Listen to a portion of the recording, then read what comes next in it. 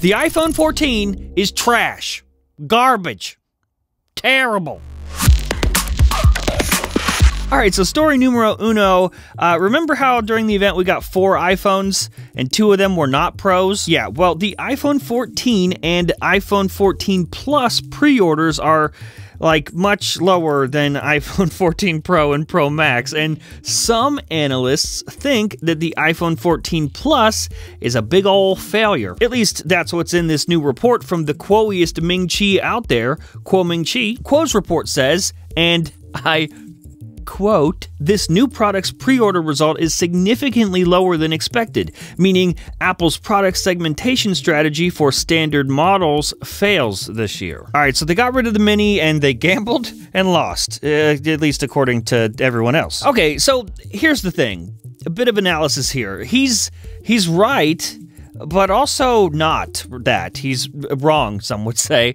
Let me explain. Yes, pre orders are lower for the iPhone 14 and iPhone 14 Plus, but of course they are. Who gets excited for the new base model iPhone? Not the losers like you or I who pre ordered day one. You know, like the customers who this report is actually about. No, we go for the Pro or Pro Max because those models are where Apple puts all the goodies, all the new exciting stuff worth the sweaty pre order at 7 a.m. Further on into Kuo's report, he says that the iPhone 14 and iPhone 14 Plus will be widely available in retail stores due to lackluster demand. But dude, that's where all the people, all the boomers who don't need an iPhone 14 Pro or Pro Max, that's where they get their phones. That's where these models are going to sell the best. These customers are the ones who go to Best Buy because they got a sweet deal through Verizon or AT&T or whatever and they get a free TV if they buy a new iPhone this week. They just are not pre-ordering pro models like us neckbeards. Not to mention this phone, uh, the Plus specifically, won't be available until October, so, uh, like, why? Instead, those people will be introduced to the iPhone 14 Plus in person in a store somewhere and see that it's bigger, it costs less than the big iPhones usually do, and they'll hear from a store rep that it has the best battery life of all the iPhones, and they'll be thrilled. Boom. Sold. Oh, and also because their iPhone 8 just ran out of room for pictures and they don't know how iCloud works, probably. The iPhone 14, but more so the iPhone 14 Plus Sleepers, I'm telling you. These new phones are the new iPhone 10R, and they're going to blow the doors off of retailers and carrier sales once grandma's ready for her upgrade. Or when they inevitably come with a free pair of Beats or whatever. Mark my words, these things are going to be everywhere by this time next year. So, yeah, Kuo is right, sort of, but he's also wrong because he's just like us. A power user who gets hype over megapixels and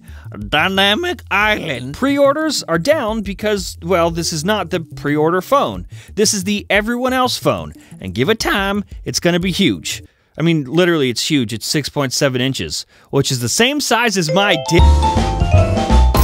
Hey, it is iPhone day, so happy that day, which means a lot of you are probably getting your iPhone 14s right now. So, how about you protect that hunk of money with a case. Specifically, with probably the most rugged case that you're going to find, these new cases from Caseborne have up to 21 feet of drop protection. That is many of me. They also have five layer construction, including specialized foam technology that absorbs shocks and scratches like a mother.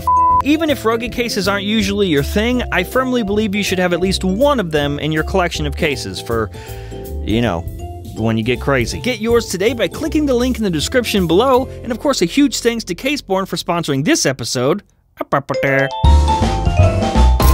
Hi, welcome back. Okay, so story numero lasto, last up for the day iOS 16.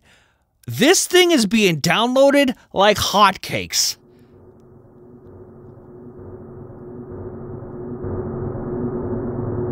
Oh, what? Sorry, I just I realized how much I wish I could download hotcakes. Uh, anyway, here's the story. In a report from analytical firm Mixpanel, we have numbers that say iOS 16 is not just popular, it's the most popular iOS release in years. This report shows that iOS 16's adoption rate is up around 50% over last year's iOS 15, and it's climbing every day. If we look at the iOS 15 adoption rate around the same time frame last year for its release, uh, we see that just about 8.5% of iPhone users decided to upgrade. But for iOS 16, we're already hitting at almost 12% in just two days. Good lord, my son. And when you think about just how many iPhones are out there floating around in the ether, 12% of that? Yeah, that is that's a lot. And those numbers alone aren't the only reason why iOS 16's adoption rate is so impressive.